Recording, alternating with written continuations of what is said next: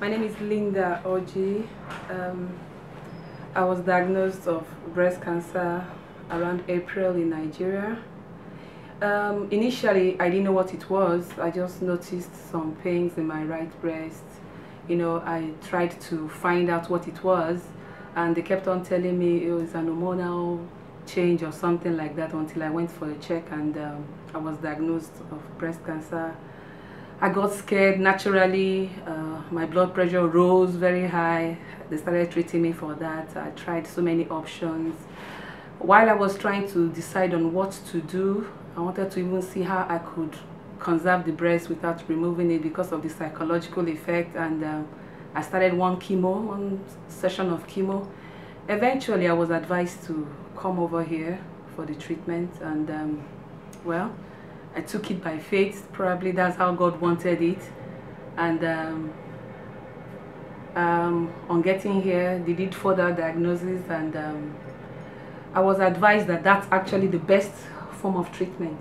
That it's better to take out the breast entirely, so that to avoid spreading elsewhere. And um, after we did the surgery, thank God I didn't really have any side effect as I thought I was gonna have. Actually, before the surgery, I was scared. I was scared to death. Then I was thinking, how am I going to cope with having one breast? My fiance, what is he going to think? Will we continue with the marriage? All sorts of things.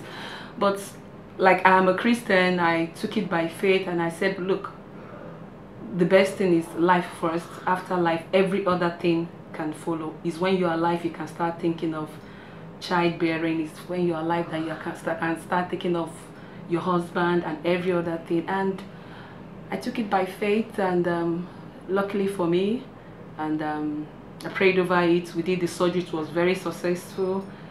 Um, they removed all the um, um, what do you call it now? Lymph nodes.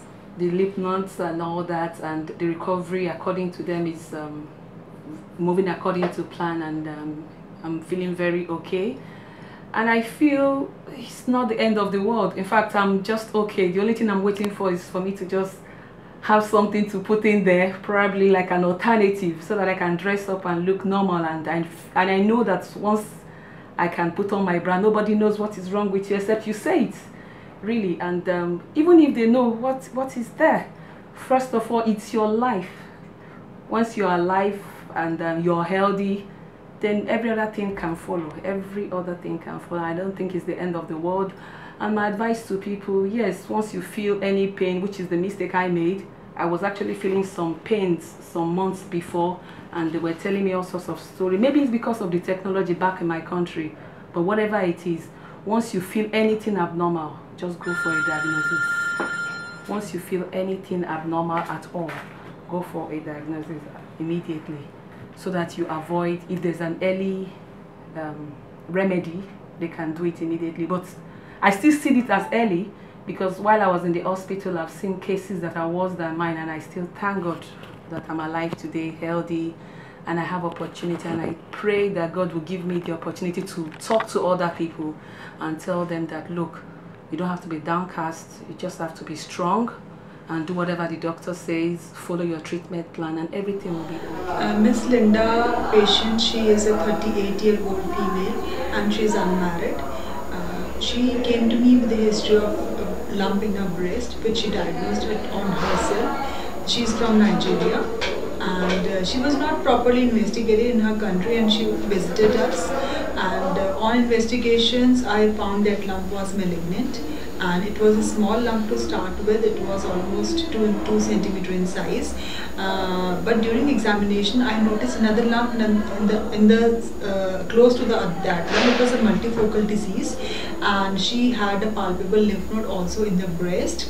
So i prefer doing a staging workup with the ct scan of the uh, abdomen chest and the bone scan which showed the disease was only localized to the breast and uh, since uh, it was a multifocal disease and uh, there was also nodularity in the other quadrant of the breast so we uh, opted for uh, uh, uh, modified radical mastectomy though both uh, options were with us.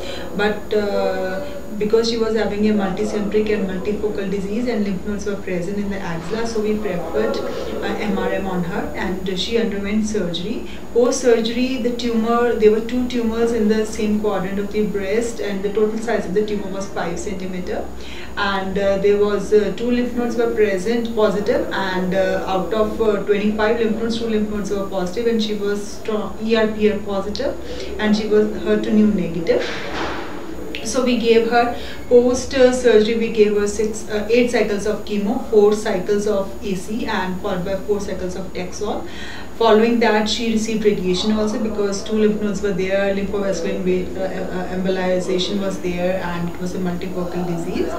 And uh, after that she is now started on tamoxifen and she's doing fine. And we are uh, planning for uh, delayed reconstructive surgery after six months after completion of the surgery and uh, rest everything is okay with her. Okay, when I came to India, came to Nova Hospital, and uh, I met with uh, Dr. Rajinder Saggu, and um, she actually advised me and told me the side effects of um, having that particular type of surgery and the advantages that it has over, you know, probably delaying further and doing uh, conservation and all that and she was able to you know counsel me and put my mind at rest because initially I was actually skeptical and a bit worried.